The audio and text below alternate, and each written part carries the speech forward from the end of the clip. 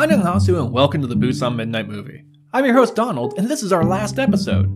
That's right, this is the final episode because it takes a lot of time to make these things, and I want to work on something else.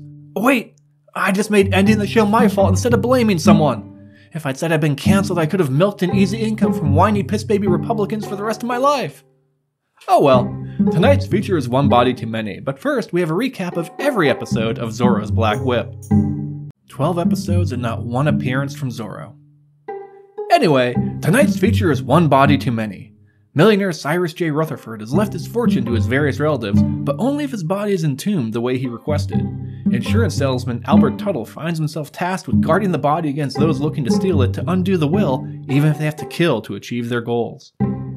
I found this movie almost exactly 13 years ago when I was hunting down public domain films to upload to the Internet Archive.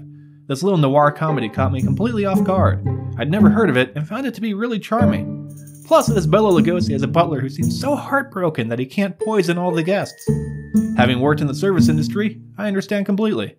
Since this is the final episode, for the moment at least, I wanted to end with something special. So without further ado, tonight's feature, One Body Too Many. Tonight's feature is One Body Too Many, and I don't have too much to say about it other than to note that the star, Jack Haley, also played the Tin Man in The Wizard of Oz. Yes, that Wizard of Oz. This film was the second of four films he made for Pine Thomas Productions, a company that previously had specialized in war and action films. Their films with Jack Haley were their first foray into comedies and musicals, and considering that they never lost money on a production, I guess they did pretty well.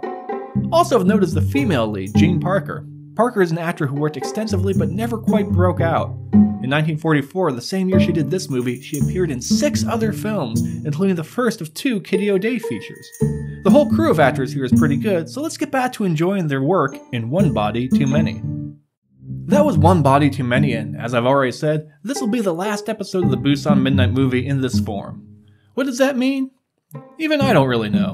Maybe it means I start doing it as a monthly thing, maybe I do it in a completely different format, maybe there's never another episode at all. We'll see.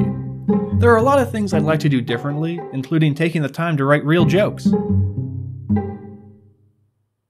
Like there, that would have been a perfect place to put a joke, but I didn't bother to write one. However, I didn't want to wrap things up without saying how much fun I've had doing this over the past five months. The show has been a lot of work, but also a real joy. If you'd like to stay abreast of new things that I do, please subscribe to this channel, and quite sincerely, Kansamnida and thank you for watching. And I'll remind you one last time to stay safe, stay inside, and stay spooky.